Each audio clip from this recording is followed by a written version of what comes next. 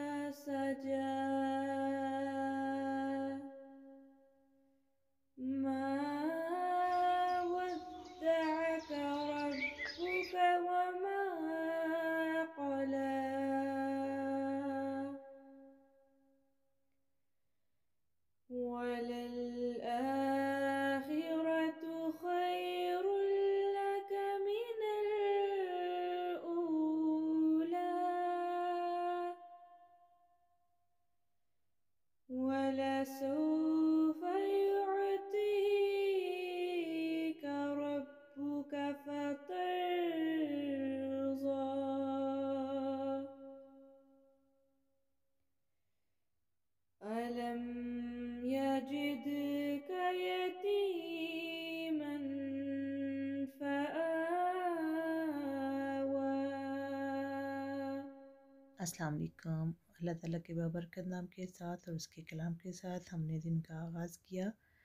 तो आज मैं आपके साथ थोड़ी सी अपनी डेली रूटीन शेयर करूँगी। सारी तो नहीं, लेकिन कुछ लम्हात उसमें से शेयर करूँगी। सुबह के पाँच बजे मैं और मेरी कुछ दोस्तें हम मॉर्निंग वॉक पे जाते हैं। तो बहुत ही अरसा के बाद इतना अच्छा माहौल और इतना अच्छा मौसम नसीब हुआ है तो हमने कहा चले उसका फ़ायदा ही उठा लें। और वैसे भी जो हालात गुजरे हैं उसके लिए ये बहुत ज़रूरी है। तो हम डेली एक से डेढ़ घंटा मॉर्निंग वॉक पे जाते हैं।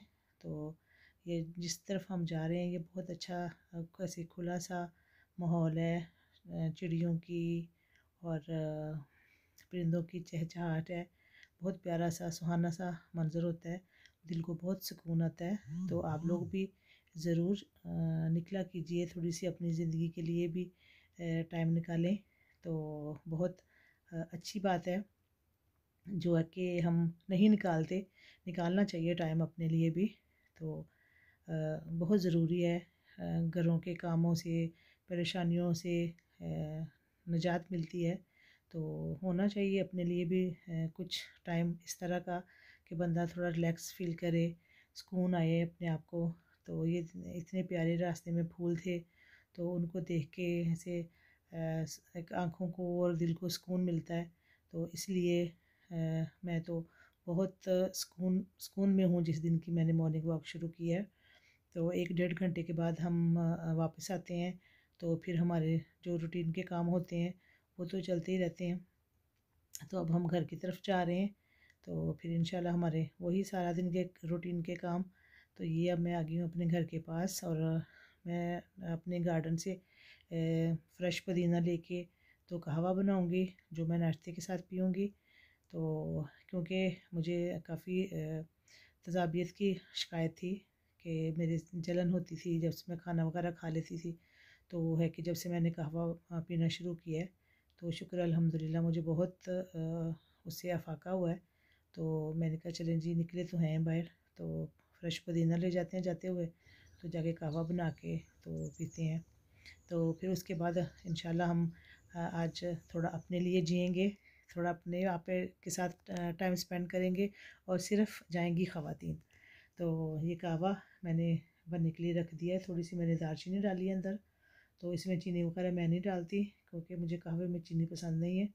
तो अगर आपने डालनी है तो डाल के पी सकते हैं। थोड़ा सा लीमू निचोड़ूँगी मैं इसके साथ और कोई हल्की फुल्की सी चीज़ नाश्ते में लूँगी।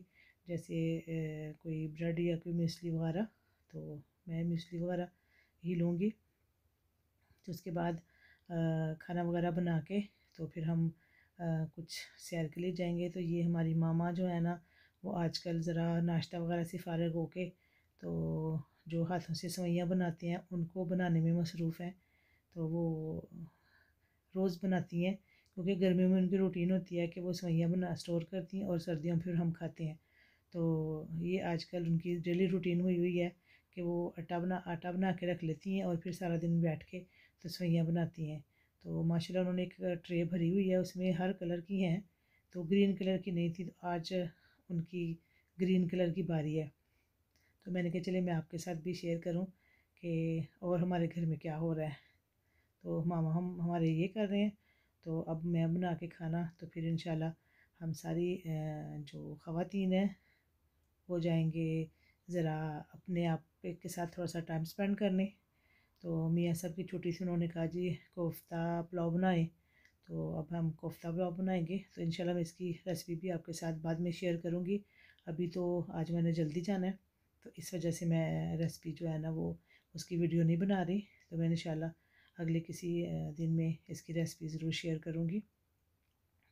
क्योंकि खाना बना के हम इनको दे के तो फिर सब जाएँगे। क्योंकि मियाँ वगैरह साथ नहीं जा रहे, सिर्फ़ ख़वातीन ही जा रही हैं और बच्चियाँ तो फिर हम उनको खाना बना के दे जाएँगे तो वो फिर उनको मसला नहीं होएगा, वो खाना वगैरह तैयार होएगा तो परेशानी नहीं होगी फिर हम आराम से अपना इंजॉय कर सकेंगे। तो ये पुलाव मैंने रख रख दिया है तैयार होने के लिए और साथ में कोफ्ते बना के फ्राई करती जाऊँगी तो फिर है कि ज़रा मेरा टाइम बचेगा तो हमारा वही टाइम ज़रा इंजॉय करने में सर्फ होगा तो ये कोफ्ते मैंने फ्राई करके चावलों के में डाल दिए तो जैसे ही पुलाव बनता है तो फिर इंशाल्लाह हम निकलेंगे बाहर शॉपिंग मॉल जाएँगे और कुछ अपने लिए करेंगे और कुछ खाएँ पिएँगे, कुछ अपनी डेली रूटीन में अपनी ज़िंदगी के लिए, अपनी खुशी के लिए भी करना चाहिए। तो हम तो वैसे कभी कभी करते हैं, जैसे महीने डेढ़ के बाद सब बच्चियों को साथ लेके माएँ और इकट्ठी जाती हैं कोई खाना वगैरह खाने या शॉपिंग करने तो हम एक शॉपिंग मॉल में चले जाते हैं, वहाँ हम बच्चे खाना वगैरह भी खा लेते हैं और हम शॉपिंग भी कर लेते हैं। ये हमारा जो है ना, सैलड और रायता तैयार हो गया है, चावलों का। हमने दम भी खोल लिया है तो हम खाना खिला के इनको तो हम इंशाल्लाह थोड़ी देर में निकलेंगे। जी, हम अब निकल गए हैं शॉपिंग मॉल तो इसके बहुत अरसे के बाद हम इधर आए हैं, तकरीबन मैं तो साल के बाद ही आई हूँ, क्योंकि वो कोरोना की वजह से कभी बंद हो जाती थी, शॉपिंग मॉल कभी खुल जाते थे तो फिर आना जाना नहीं था तो आज हम बहुत अरसा के बाद आए हैं तो आज हम चाह रहे हैं कि कुछ इंजॉय करें, कुछ शॉपिंग करें अपने लिए, बच्चों के लिए तो हम इधर आए हैं, देखते हैं कि हालात क्या हैं अंदर क्योंकि काफ़ी जो मार्केटें वगैरह अंदर से बंद हो गई हुई हैं तो चलें जो भी होगा जो मिलेगा ले लेंगे जो नहीं मिलेगा फिर सही। तो आप अब हम अंदर जा रहे हैं और इतना ज़्यादा रश तो नहीं है आ, क्योंकि यहाँ बहुत अमूमन रश होता है बहुत। लेकिन आज आ, बहुत कम लोग नज़र आ रहे हैं शायद अभी वो खुला इस वजह से। तो दुकानें भी काफ़ी अंदर से बंद हैं। तो चलें जो हमें चाहिए अगर ज़रूरी ज़रूरी ले लेंगे नहीं तो फिर आके सिर्फ़ ज़रा घूम फिर के चले जाएँगे। और फिर किसी दिन शॉपिंग कर लेंगे। तो अब हम ज़रा जायज़ा लेते हैं कौन कौन सी शॉप खुली हुई हैं। तो क्या क्या ख़रीद सकते हैं और क्या क्या नहीं ख़रीद सकते। ये कपड़ों की मार्केट में मैं आई हूँ। मुझे थोड़ी सी कुछ चीज़ें चाहिए। तो यहाँ से हम लेके तो फिर निकलेंगे बाहर। तो ये मुझे एक बहुत अच्छा लगा था। यहाँ जो बारबी करेक्टर्स हैं वो सारे उन्होंने रखे हुए हैं।